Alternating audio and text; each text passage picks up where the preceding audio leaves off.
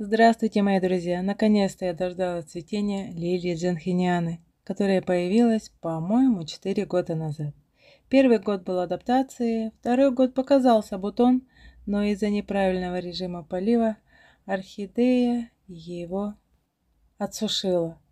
Третий год продинамила в цветении, так как зимний период провела при температурном режиме не ниже 13 градусов и вот, наконец-то, я с осторожностью ухаживая и наблюдая, вытягиваю этот цветонос. Боюсь, что опять его скинет.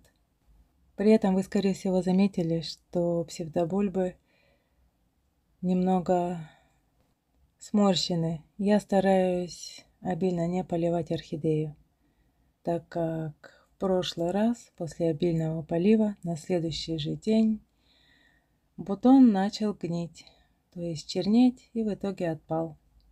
Как раз на той фазе, когда уже начал потихоньку раскрываться. Ох уж и капризная эта лилия джанхиниана, которая для цветения требует в зимний период, именно в тот момент, когда находится в периоде покоя, холодный температурный режим в ночное время, где отметка не должна превышать 10 градусов, может опускаться и до плюс 5. Также перепад между дневной и ночной температурой должен составлять от 7 до 10 градусов. При этом должна присутствовать высокая влажность не ниже 70%.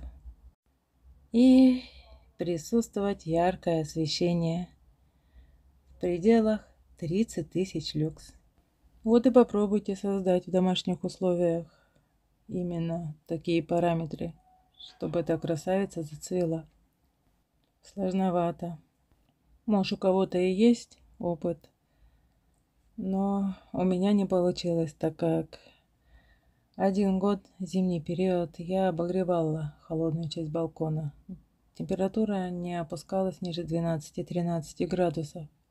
И, как я уже выше сказала, орхидея на этот год меня продинамила. Хотя на развитие самой куртины это никак не отражается.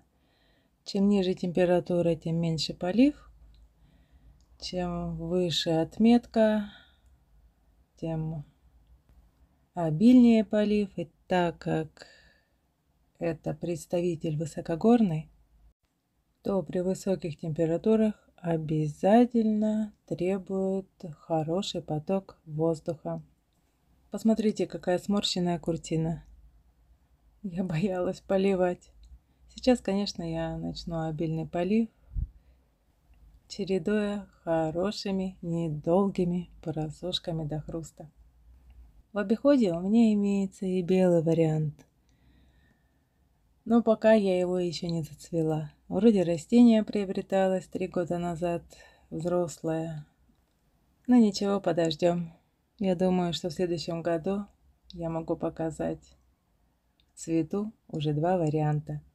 Вы, скорее всего, заметили, что у этого цветка имеется небольшой дефект. Губа с одной стороны немного короче, да и петалии немного шире чем должны быть. Хотя эта форма мне больше нравится. Но ничего, это первое цветение. Понаблюдаем, как процветет в следующем году. Посмотрите, какая красота, какой огромный цветок. Диаметром достигает до 12 сантиметров, хотя сама куртина в высоту достигает всего 10 сантиметров. Какое прекрасное соотношение. Я представляю, если эта куртина когда-то зацветет обильно, ее практически не будет видно. Из-за огромных цветов. К сожалению, цветку всего три дня, и аромат пока еще не появился. Хотя должен, но у нас пасмурные дни. Жду, когда появится солнышко, но думаю, еще не скоро. Как появится аромат, я обязательно опишу его в комментариях. говорят, должен быть приятным. Также со временем оттенок цветка должен немного потемнеть. Тоже интересно, как же он будет выглядеть, имея такое интересное сочетание желтого и на данный момент нежно-розового. Эх, какие же интересные орхидеи со своими сюрпризами. Вот вроде бы и все, что я вам хотела рассказать и показать.